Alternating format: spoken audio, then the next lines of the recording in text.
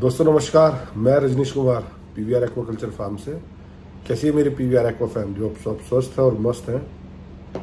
दोस्तों, एक मत्स्य पालक किसान भाई ने रिक्वेस्ट की है कि, सर, जो हमारा F C R feed conversion ratio है, उसको हम कैसे और अच्छा करें? तो और उसको इम्प्रूव करने के लिए मैं आपको कुछ तीन चार बेसिक्स पॉइंट्स बताने वाला हूँ। वैसे मैं बहुत सारी वीडियोज़ में इन बातों का ज़िक्र कर चुका हूँ।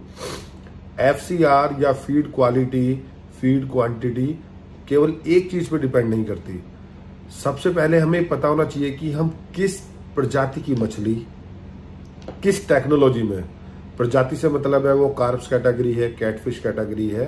टेक्नोलॉजी का मतलब है आप उसको आरएस में पाल रहे हैं, बायोफ्लॉक में पाल रहे हैं पोन फ़ार्मिंग में पाल रहे हैं, आईपीआरएस में पाल रहे हैं। और उससे बड़ी इंपॉर्टेंट बात कि वो जो मछली है वो किस अभी लाइफ स्टेज में है।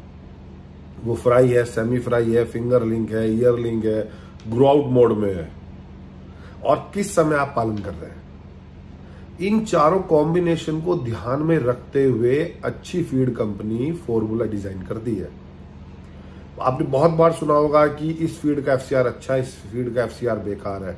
ठंड में इस फ़ीड का एफसीआर बहुत अच्छा आ रहा है। हमारी तो मछलियाँ ठंड में भी फ़ीड इनटेक कर रही हैं।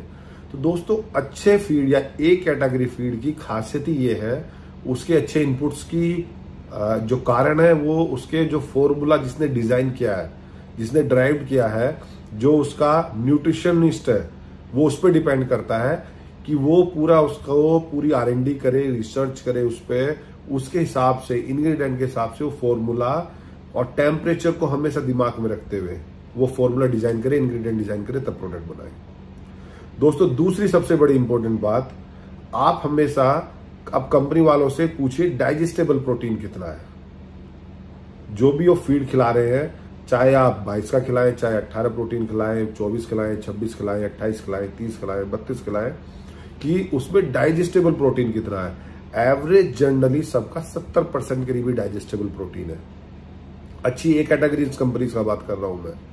तो मेरी बहुत सारे न्यू बिगनर्स न्यू एंटरप्रेन्योर से ये रिक्वेस्ट है फ़ीड पे सबसे कम दिमाग लगाएँ। एक अच्छे फार्मर को, एक अच्छी कैटेगरी कंपनी के फ़ीड को यूज़ करें। एक दो कल्चर निकाल लें। जब उन्हें लगे कि अब उनका कंजप्शन बहुत ज़्यादा हो रहा है तो फ़ीड यूनिट, फ़ीड प्लांट के बारे में कुछ सोचें। जो किसान भाई केवल फ़र्स्ट ईयर में फ़ीड यूनिट का प्लांट कर रहा है, जिसने मछली नहीं पाली या तो उसको उसको बिज़नेस एंगल से देखे।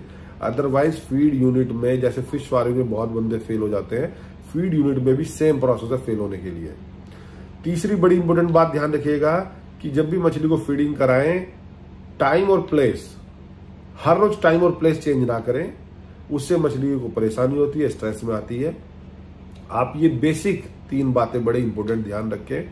आपका एफसीआर बहुत अच्छा आएगा। एफसीआर के लिए आपके वाटर पैरामीटर मेंटेन रखें आप। अच्छी क्वालिटी का फ़ीड खिलाएँ।